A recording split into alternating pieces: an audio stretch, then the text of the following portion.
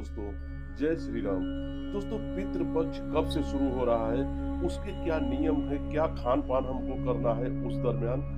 इसी के बारे में आज बातचीत करेंगे। दोस्तों, पितृपक्ष के दौरान अपने पितरों की आत्मा की शांति के लिए श्राद्ध किया जाता है और उनकी मुक्ति की कामना की जाती है। दोस्तों, हिंदू पंचांग के अनुसार भाद्रपद माह की पूर्णिमा तिथि से पितृपक्ष की शुरुआत होती है और अश्विन माह के कृष्ण पक्ष की अमावस्या तक ये पक्ष चलता है। पितृ पक्ष में आहार से जुड़े नियमों का पालन करना बेहद अहम होता है। खासकर जो श्राद्ध करता है, उसके लिए नियम सख्त है।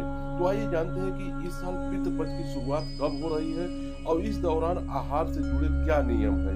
दोस्तों, भादो महीने महीने की पूर्णिमा तिथि 29 सितंबर को पड़ रही है और इसी दिन से पितृपक्ष की शुरुआत होगी, जबकि पितृपक्ष का समापन 14 अक्टूबर को हो रहा है। पितृपक्ष के समापन के बाद देवी पक्ष यानी शारदीय नवरात्र की शुरुआत होती है। पितृपक्ष के इन 16 दिनों में पितरों को भोग लगाने और उनकी आत्मा की शांति के लिए पूजा पाठ करने का नियम है। दोस्तों, नियम क्या है? पितृ पक्ष के दौरान पितरों को श्राद्ध किया जाता है और 16 दिन पितरों को समर्पित होता है। ऐसे में इन 16 दिनों में केवल सात्विक भोजन ही खाना चाहिए। मांस, मछली, अंडा, शराब आदि जैसे चीज़ों से पूरी तरह से दूरी बना ले। जो व्यक्ति श्राद्ध करता है, वो कोशिश करे कि केवल घर के बने सात्विक भोजन का ही सेवन करे।